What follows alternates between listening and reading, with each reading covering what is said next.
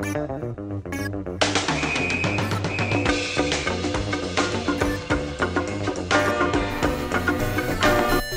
Snow White's stepmother knows Snow White is not dead.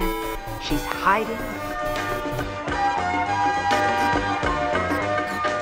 and creates a beautiful apple. Under the apple's rosy skin lies the power to bring sleeping death.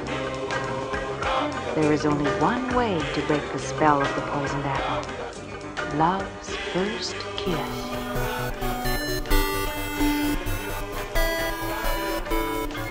Not before they warn Snow White to beware of all strangers.